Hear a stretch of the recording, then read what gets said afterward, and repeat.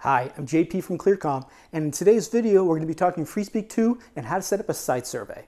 Let's dive in. To begin, you'll need a belt pack and transceiver.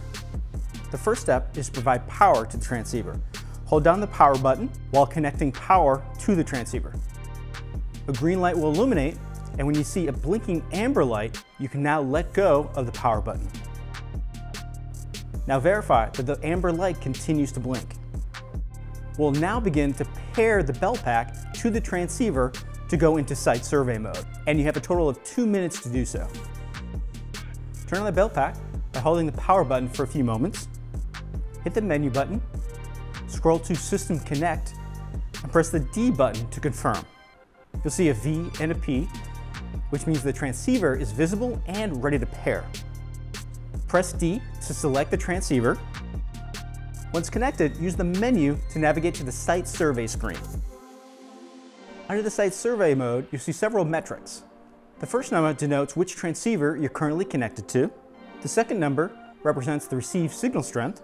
Third number represents packet loss errors. And the last number is the link quality, with a maximum of five possible. Now take the belt pack and walk away from the set transceiver this will allow you to find the edge of the coverage zone. Now the belt pack will denote when you're at the edge of the coverage zone. You'll see an RSSI of 25 and 1% of error rate when standing still. Now you should look to place a transceiver at this location. Repeat these steps throughout the location. Now you want to make sure you place transceivers away from any existing DECT phones, wireless LAN systems, UHF analog, lighting rigs, and you want to make sure you place transceivers at least three feet apart. As a general practice, transceivers should be six to eight feet high and a minimum of two feet away from the ceiling. You also want to make sure you test with doors open and closed. This has been an overview of how to set up FreeSpeak 2 for site survey mode.